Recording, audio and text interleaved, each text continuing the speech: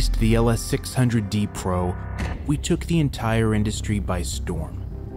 As our flagship daylight unit, the 600D Pro led the lighting world with an output of 8,500 lux at 3 meters, scaling up to a staggering 29,300 lux with the F10 Fresnel. Combined with advanced wireless control and numerous battery capabilities, the 600D Pro became the standard for LED power. But standards were meant to be broken. And as the saying here at Aputure goes, the best can always be brighter. Introducing the new Daylight Challenger, the Lightstorm 1200D Pro. Weighing in under 20 pounds, its 1200 watt output hits heavy at 22,400 lux at 3 meters. And when you're punching in more narrow, the fixture unleashes an astronomical 83,100 lux at 3 meters, on par with the Joker 1600 and raising the bar for LED innovation. With a max power draw of only 1,440 watts, this unit can live safely on household power. And as it harnesses the power of the sun, the 1200D Pro stays on the same wavelength when it comes to color, reproducing a high TLCI value of 98 and D56 SSI of 73. With a feature set and rugged framework designed for professionals, the 1200D Pro rewrites what modern filmmakers expect out of quality lighting today. First comes the build quality. The 1200D Pro features our most weather-tight construction to date, with its heavy-duty IP54 construction shielding it from any rain and dust.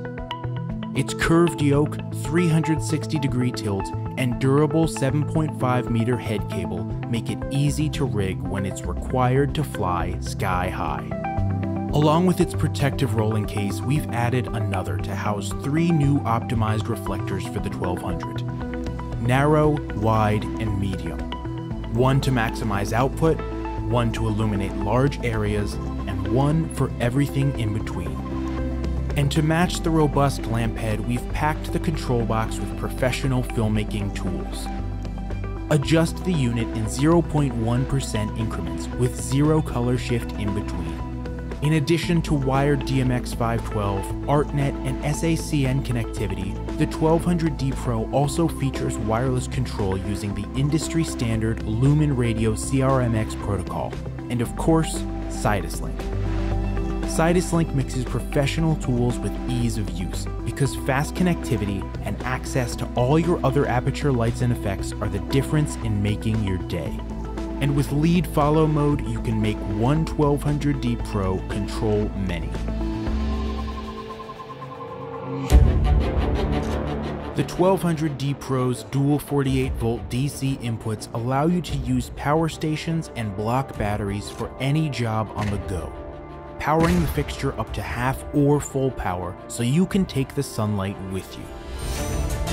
It comes standard with 8 built-in lighting effects including strobe, explosion, and TV, as well as the standard for all Aputure Lightstorm lights, the universal Bowens mount. As the brightest Bowens mount fixture on the market, you can shape your lighting with a variety of accessories, like the Light Dome 150, Lantern 90, or the F10 Fresnel or even the latest addition to the family. Introducing the Light OctaDome 120. Our latest modifier is an 8-sided softbox that spans 1.2 meters, producing stunningly beautiful catch lights with every subject you capture. The OctaDome 120 comes with 1.5 and 2.5 stop diffusion fabrics, as well as a 45 degree light control grid and at nearly the same weight as a 4x4 diffusion frame, it ties everything you love about these industry classics together, with elegant reflections, portability, and single unit operation. We've also made the unit compatible with third-party accessories you know and love. Together, the 1200D Pro truly becomes the one light to rule them all. For most filmmakers, it wasn't possible to achieve this much output on a household circuit. And now, we've made that a thing of the past. At Aputure, bridging technology with the needs of modern filmmakers is what we do, because the challenge of storytelling is hard enough. You need to work fast and get the shot just right. So wouldn't it be nice if all you needed to say is bring in the sun?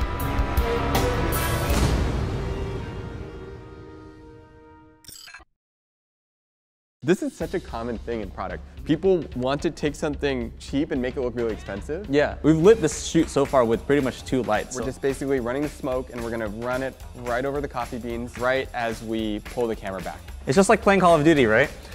Oh, we got something! hey, wait, that wasn't the worst ever. That wasn't the worst ever. Filmmaking 101. All right, Brandon, uh, this is new. We're not in the studio. I have a bag of coffee in my hands. what are we doing?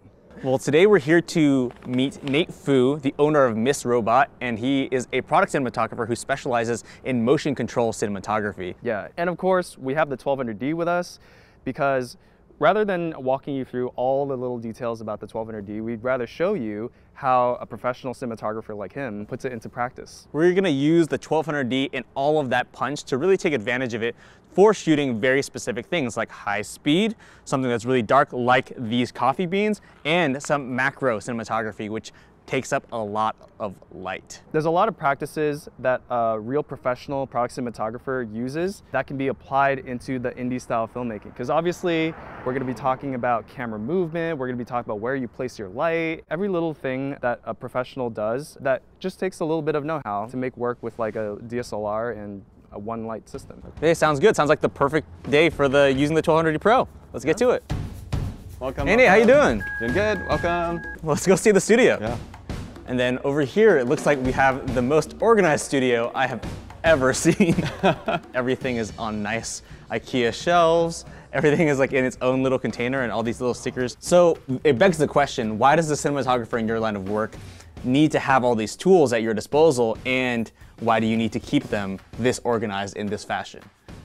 I think I, I really like to, like flow state is pretty important for me.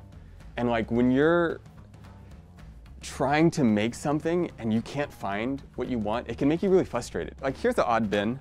This is just like plastic trash. You know like when you like, This is uh, like from the IKEA shelf. from Ikea, yeah. this is literally from Ikea. But like then you kind of find like, oh, one day you need like to hold up a little corner. So I kind of just take like the trash of stuff and I kind of collect, you never know. So we talked a lot about your studio, and your studio is amazing, but ultimately we came here for you. So tell us a little bit more about yourself, why you got into product cinematography, a little about your background. Um, what do you want to let the audience know? I was like really drawn to like the 3D feel of it or like almost like the digital feel of it.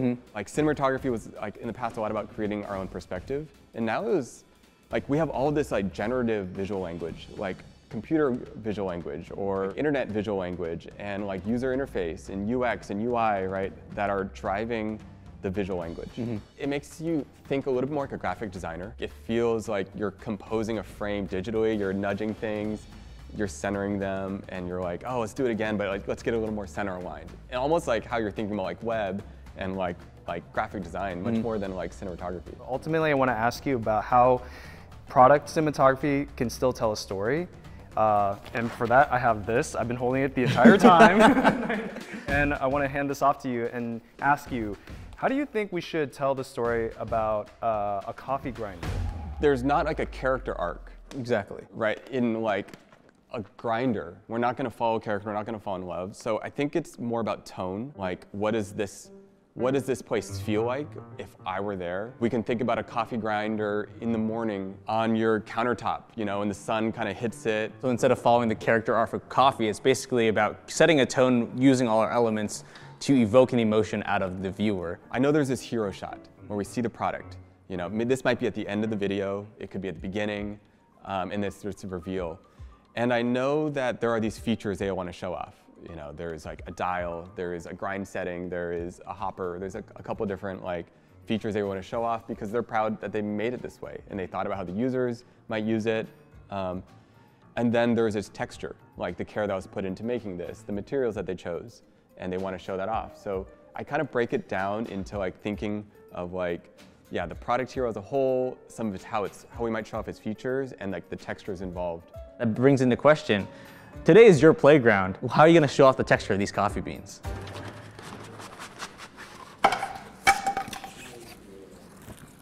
It's okay, it's still wrapped in plastic, no worries. Oh man. Okay, so this is like this is challenging.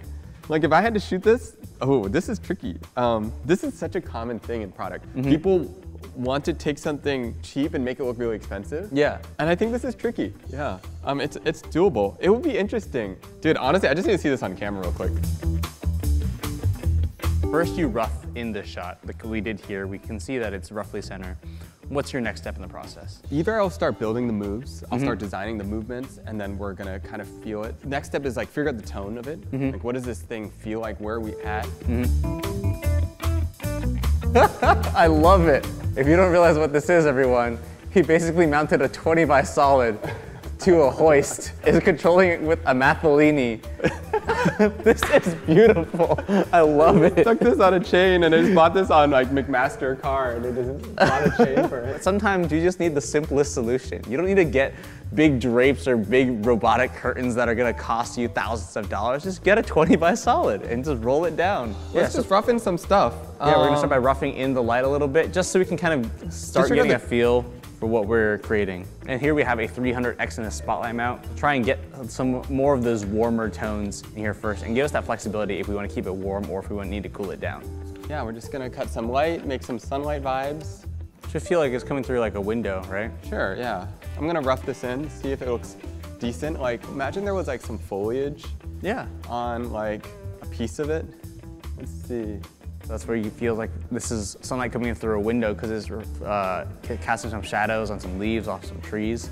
So at 3800 Kelvin right now, this is at 37, so right now we're white. Yeah, I'm just kind of matching tones. The way I want to use this 1200 is I want to use it as if it's the sky. And I want to like play it a little blue even. Yeah, the 1200D Pro can be basically the light that you get after it comes in through the awning, has bounced off a bunch of things, a little cooler, just like an overcast sky. Yeah. Okay, so the next challenge, arguably the bigger challenge in setting up the frame, is how to set this up without touching the branch or the robot. Let me try something. My gut, like, and this is actually something I probably could only do with the 1200, is like, you're gonna lose so much light.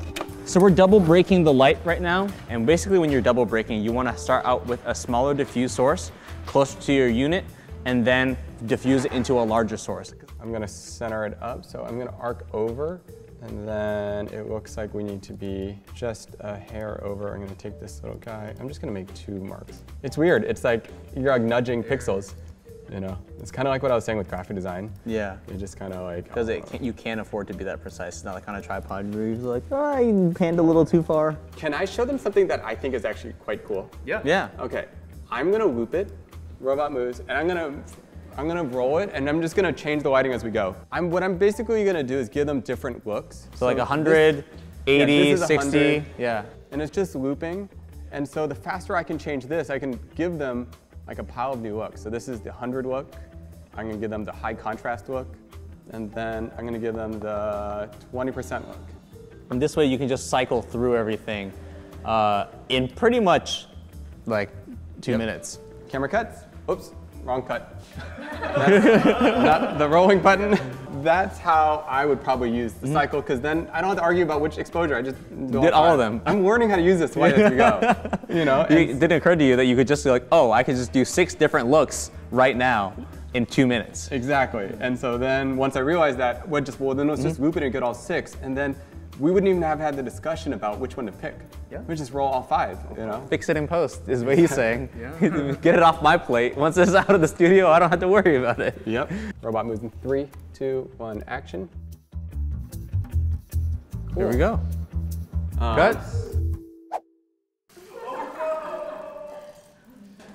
We could get the grind on another shot. Let's cut. Filmmaking. Yeah, we don't need the grind. You you set that up, and we'll work on the next shot. We'll s- I mean, we are up here. We could do the top-down one, pushing in with the beans falling in now. Mm-hmm. Go back to the beginning of our shot list. So wait, how slow do we want it? Uh, okay. So basically, because we're at 160 frames per second instead of 120, that's, what is that? A little over five. That's six times as fast. So it just means six times less light. Roughly two and two thirds stops, two and a half stops of light that we need to gain back. But that means if we basically open up to theoretically from 14, that's two thirds to 11, then to eight, and then to 5.6. That's a five-six. That's why six. I mean, that's mathematically what it's supposed to be. Ah, Whether but- it's oh wait, wait, hold on. This is a fun lesson. Mathematically correct. exactly, but it's not always perfect. When you shoot macro, Uh-huh. you have an exposure compensation. Oh, so yeah. At 10 inches, I'm losing not that much. I'm losing just a half stop. Okay. But at seven inches, I'm losing a stop and a third. Because as you're moving closer, basically the whole element system is moving forward and is closing your actual amount of available light. So I just ignore gaffers all the time. And I just like, I'm just looking at the monitor. I don't care because, as it looks right to you. okay. Um, and then we, I feel like it's hot on the table.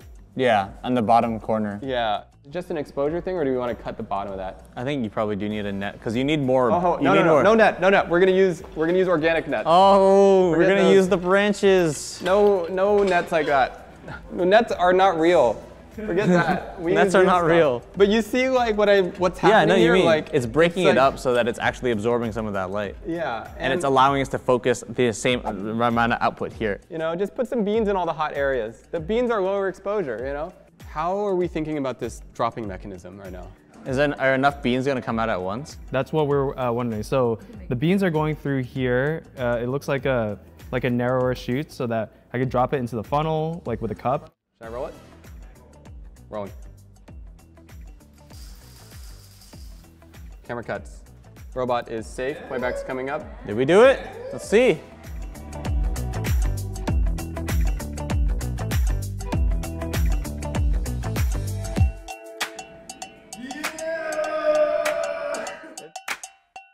What's the next thing we want to get? The next thing we want to do is this shot where we're like on a bed of coffee. We're using the macro lens to really scrape the bed, and then we want steam to come underneath it, as if like coffee is being roasted. Okay. And we're not just any macro lens, just so we can get that great perspective, we're using a probe lens, right? We're using a probe lens, and the movement should be simple enough where you get to take the reins to this one. What? I don't know if I'm ready for that, but let's try, I guess. It's just like playing Call of Duty, right? All right, so this is a, we're gonna use the pro lens on this one. Um, a lot of you guys know this lens is uh, f14, t14. Um, pretty tricky to light with, so we're definitely gonna probably be, if we're gonna do slow motion and t14, I'm probably gonna remove the light and just shoot the direct 1200 at it. I think that's how much light we're gonna need. So the next question is, why did we decide to backlight the coffee beans? whenever you're really close up, you want to see all the textures and the little details mm-hmm. in the textures, and backlight really kind of creates that contrast Yeah. to get all the textures. And we're so close up, we're so macro, so this is all texture. Let's call it a smoking gun. A smoking gun. Yeah. Got You it. can also use this to make the cocktail. Okay, so using a smoking gun. We're just basically running the smoke, and we're gonna run it right over the coffee beans right as we pull the camera back. The probe is like one of the hardest things to do because um, it can hit things really fast. Basically, we're gonna do is you're gonna take this keyframe and we're gonna copy and paste it, maybe four seconds. Uh, okay, so that's four feet six inches. Oh, okay. So why don't we why don't we do like a foot? Okay. We're gonna test this. What do you usually say? Robot moves in three, two, one, action.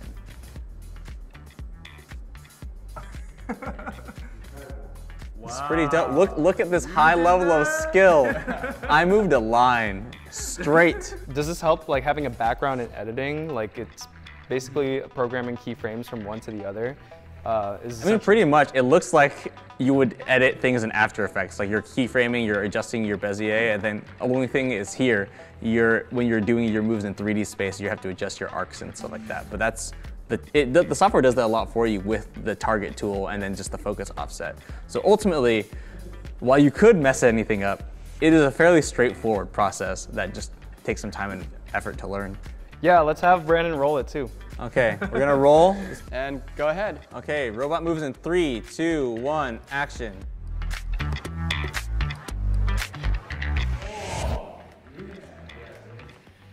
I mean, this is what this is the mythical pe- thing that people are trying to get often. You know, is like Now, would it look just as good slower, or what? What, what do you say to that? it looks more expensive. it looks like you're in another world. So everything you do to make it not feel real, Yeah. you know, it, it just takes you to another place. This is the real Oh, thing. okay. This is the real thing. This is the real Oh thing. no, this is a lot of pressure. Okay. Okay, robot moves in three, two, one, action.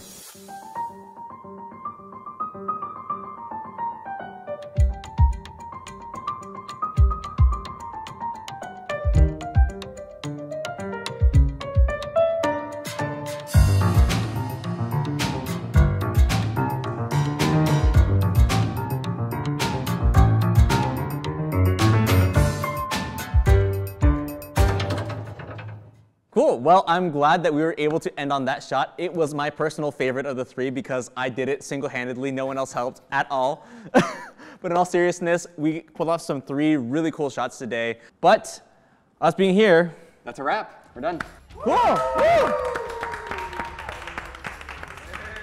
Now it's time to clean up though, so I gotta bounce. so Nate, I have one last question for you. We covered a lot of high-end concepts today. We dealt with a lot of high-end tools, some expensive camera robots, some expensive cameras, but ultimately, what can all the indie filmmakers take away from the lessons that we talked about today um, and use it and put it to use in their own studios and their own shoots? I think the takeaway is you don't have to know the look before you start. If you can dial and move and change things as you go, you can like feel into the shot. And your tools can even affect your concept and your process can affect the end result. And so if you just let yourself stay loose, change a bunch of settings, dim up and down, just explore as you go, you'll discover something you weren't planning on. And that's, in my opinion, like the best stuff. Yeah, because we talked about that a little bit, right? Not everything has to be pre-planned. Everything for you starts out as just a rough draft on set, change some settings and see what happens. Yeah, I think don't be afraid to just, don't be afraid to not know where you're shooting. Uh, turn on a camera, it can look bad, feel it out, hold it handheld, just move the light around, pan, just, just try things. And I think like the more you try things, the more accidents will happen, the more discovery you'll be, and the reality is nobody really knows what they want until they see it. So start with a rough draft, try it, change it, and build towards your final image. Well, thank you for teaching us so much about product cinematography, and I hope you had a fun time getting to use the Lightstorm 1200D Pro. Where can people find you on social media and learn a little bit more about Miss Robot and what you do? Well, we're based in LA, so you guys can just come by, search us on Google, we'll be there. Um, and on social media, we're Miss underscore Robot. Okay, you can see a lot of cool stuff there. They have an amazing library of product cinematography, so definitely check them out and get inspired. Thanks for tuning in again, and we'll see you later.